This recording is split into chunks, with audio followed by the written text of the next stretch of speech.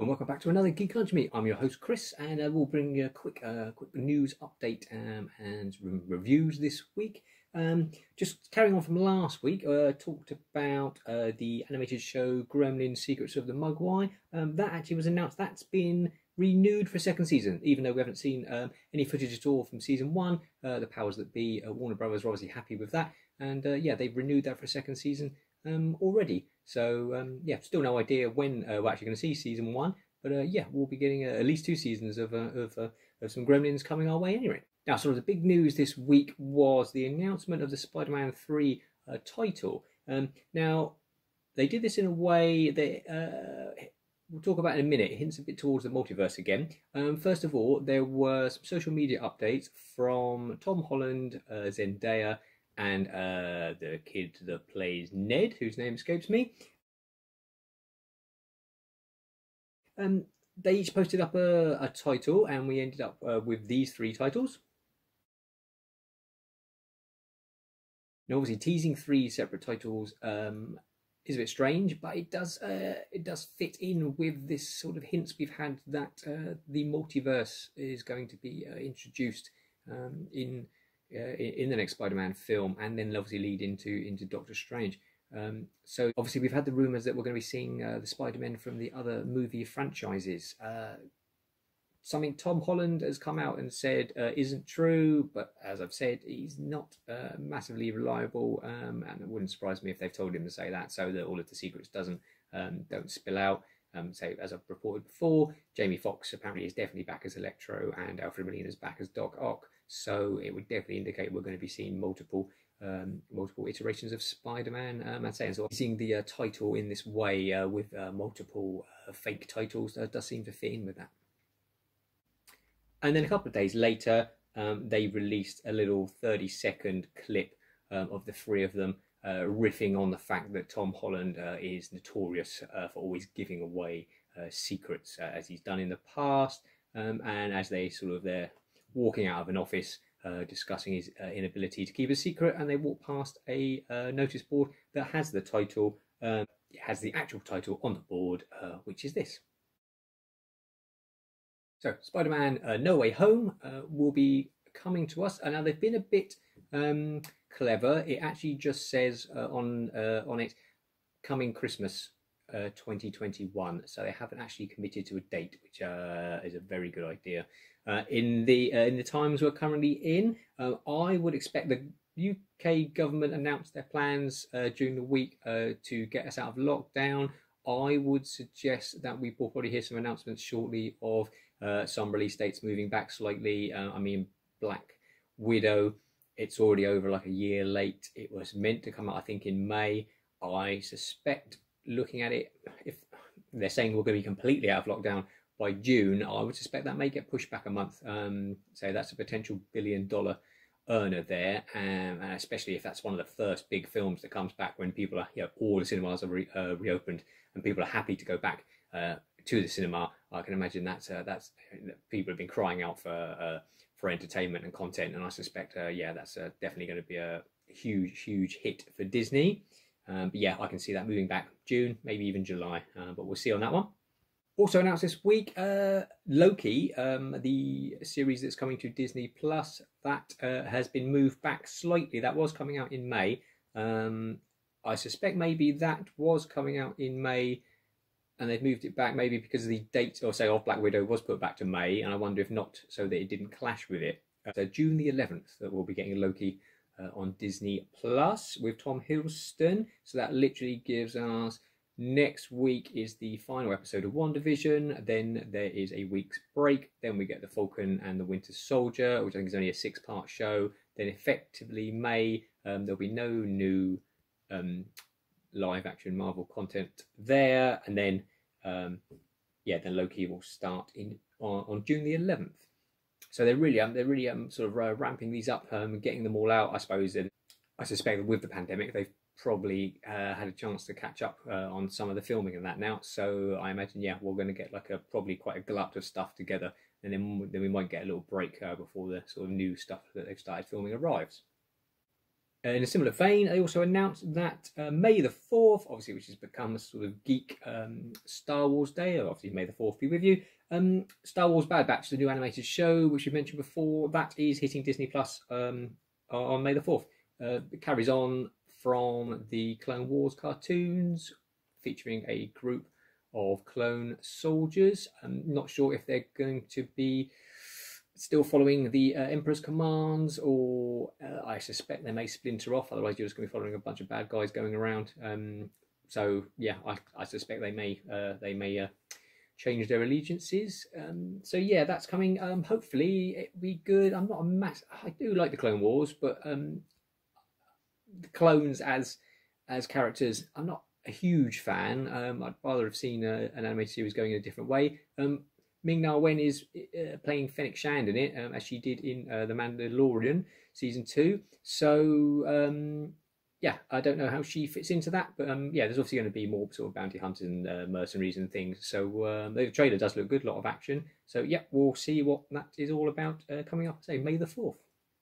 So this week, uh, Star started on Disney Plus. Star is basically um, in the states you've got hulu and various other streaming services. Um, we don't get them over here. Disney plus uh, have added star to um, to their raft of uh, what they've got uh, of the content available in the uk and in uh, other places around the world. It's basically showing where where disney bought out uh, fox studios. It's got a lot of that all the fox stuff on there. It's basically stuff that isn't as family friendly as what disney would obviously normally puts out on Disney Plus. You have to the first time you go on once you've um, once you updated your app um, to show the star stuff that uh, it will ask you to verify uh, your age and if you want to see um, um all of that all of that content.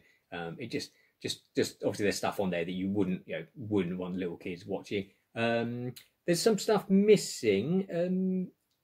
the Die Hard films are on there except for Die Hard One. I can only assume there's some sort of rights issue. I don't know if maybe I've got a feeling they were on Amazon Prime, so I wonder if Amazon Prime still got the rights to the first one for some reason. Um, I suspect uh, that in uh, as we as we as we go on, uh, new content will come on as uh, as licensing uh, agreements run out with other places. Uh, none of the Alien films are currently on there either. Um, so I suspect we'll see them in the future. There's rumor they're going to, they're all being remastered in 4K. So um, yeah, that's probably one thing that's stopping them. Uh, you've got things like you've got all of Lost on there. Um, and various other TV shows. There is obviously some new, uh, some original content on there. Not very much at the moment, and also it will be the home of the Alien TV show um, when they start filming that. We probably won't get. That's probably a year or at least a year away. Um, but yeah, so um, there's quite a lot of content on there. Um, so yeah, definitely check that out if you've got Disney Plus. Sad news this week. Um, COVID has seen the demise of um, yet another um, geek business, the um, uh, Cinefex. Um, if you've not heard of it, uh, Cinefex is a magazine that started in 1980. Um, so yeah, 41 years it's been going. It is basically the bible for um, the special effects industry. It is absolutely crammed full of information on just about every. It's covered like every major special effects movie since since the 80s um, right up to now, um, and it's a shame to see it go. Um, this is the first issue I ever bought, which is issue 50, uh, which is from May 92, uh, which obviously features Alien 3. Yeah, it's a real shame that it's uh, gone. Uh, the early issues are highly collectible, um, go for quite a lot of money. They used to go for hundreds. eBay's brought the price down a bit, um, but they're still, if you can get some in decent condition, still uh, still worth quite a bit of money. It's one of the earliest ones I've got. This is issue 18, uh, which is the uh, Temp Indiana Jones and Temple Doom issue. Um, the amount of information packed in these um, is incredible they sort of later they became obviously as film mostly uh, special effects industry moved on to computer graphics obviously a lot of the um, information is very technical and a lot of it goes over my head. Um, the earlier issues obviously there's a lot of model making and stop motion and uh, uh, photochemical effects is a lot more interesting. But uh, yeah still good. And still uh, yeah an absolute shame um, that that has gone under. Um, understandable the industry there isn't much uh, obviously product coming out. They uh, said their obviously advertising revenue had dropped uh, considerably. Um, yeah, so real shame. Uh, it looks like issue 172, I think it is, is going to be the final issue, and probably be a collector's item. But yeah, if you're a big fan of any particular movies that you that you love, you chances are there's probably a Cinefex issue. Um, so there's loads of them on eBay. Um, definitely worth uh, checking out. Moving on to things I've seen this week. Um, Got a rewatching of District 9, uh, the Neil Blomkamp uh, sci fi movie from quite a few years back. Um, interestingly, they have just announced, just before recording this, that he is working again on the script for District 10, the sequel um, with Sharlto Copley. Um, the thing with Neil Blomkamp, he has uh, he has said this before that he's working on it, and obviously he has got a history of um, announcing project projects that never come to fruition, such as his uh, Alien 5 script, which he had concept art for and everything, which looked pretty good, and uh, Robocop, a proper sequel to Robocop, um, which also then uh, disappeared. So, um, yeah, take it with a grain of salt for the moment, but um, yeah, hopefully um, he can get that off the ground. Uh, it would be great to see a continuation of that story, even though it does it does hold up as a standalone film. It doesn't need a sequel as such, but um, I would be happy to see um, the return of Christopher Johnson and his prawn buddies and um, see what happens with that. Now, also this week, um, I watched Flora and Ulysses, uh, which is a, an exclusive to Disney Plus. Um, it's a new family movie. Uh, it is uh, about a young girl called Flora, uh, played by relative newcomer Matilda Lawler. Um, she uh, has a uh, estranged family. Um, her mother, played by Alyson Hannigan of Buffy fame, is a uh, romance novelist uh, who is uh, having writer's block. father, who currently doesn't live with them, is played by Ben Schwartz, who is the absolutely fantastic Jean-Ralphio in Parks and Rec. He's a sort of struggling comic book artist as well. Um, to this scenario uh, comes a, superhero um, in the form of uh, Ulysses, who is a squirrel.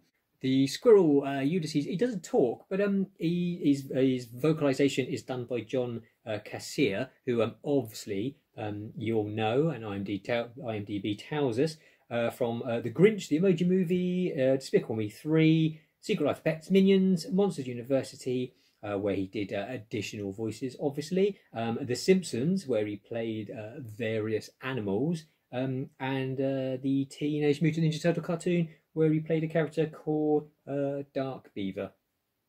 Um, not one I'm familiar with, uh, but yeah. Um, obviously, uh, joking aside, he was best known as, uh, as the voice of the Crypt Keeper in the uh, Tales of the Crypt franchise. Uh, it's based on the children's book uh, by Kate uh, DiCamillo, and um, it, it, really is a cut above the average sort of um, kids movie. Um, script is is very quirky. Um, it's quite offbeat.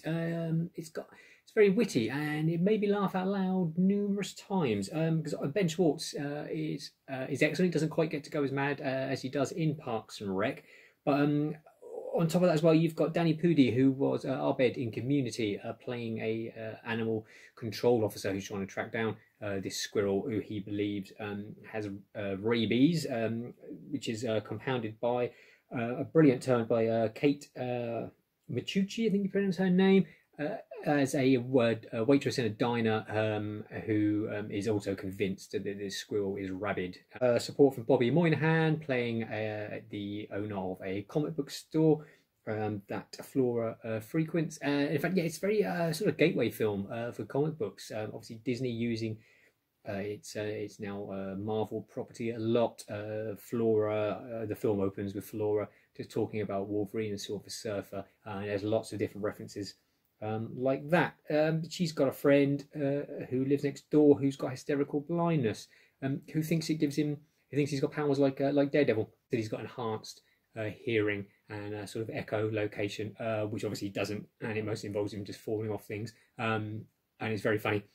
And there's a psychotic cat as well um, that just constantly attacks Danny Pudi's uh, animal control officer, um, and is, uh, who, which is also brilliantly done.